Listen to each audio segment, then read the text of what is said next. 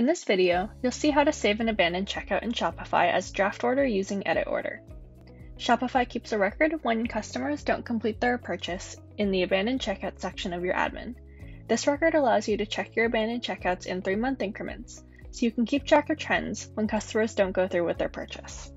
However, Shopify doesn't provide an option to turn these checkouts into actual orders. This is where Edit Order can help. Using a few clicks, you can save abandoned carts as draft orders for large wholesale orders, follow ups with customers, and line item properties and discounts. Before we get started, here's a checklist of the steps we'll cover in this video. First, make sure you have Edit Order installed. You can save an abandoned checkout as a draft using any Edit Order plan. Next, let's locate your abandoned checkouts. Click Orders in your Shopify admin and then select Abandoned Checkouts. On this page, you'll see the list of your abandoned checkouts with information like customer name and time of abandonment. If you click on one of these abandoned checkouts, you'll see additional checkout details like the items in the customer's order, the price that they would pay for their items, and their email address.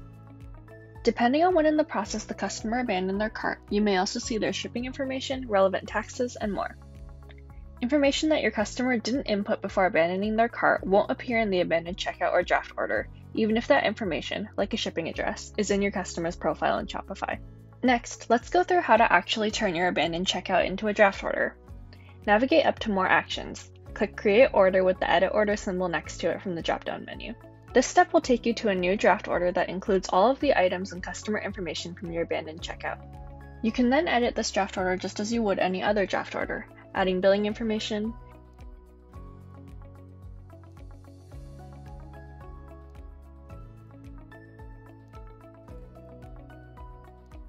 implementing a customer discount,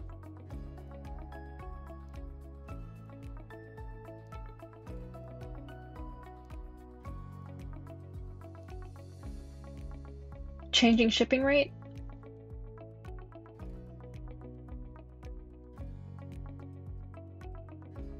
adding custom line item properties,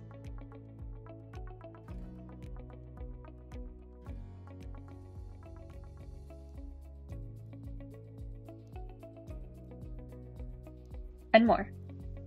These edits will all appear on your draft order once you save.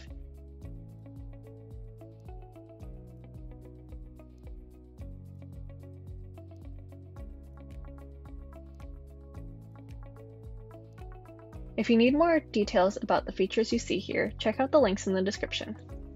After you save, your draft order will be accessible in Shopify's draft orders list at any point. The original abandoned checkout will remain in Shopify's records for three months, and you can use it to create as many additional draft orders as you need. And you're finished! If you have any additional questions about this feature, please feel free to reach out to us at support at editorder.net. We're always here to help.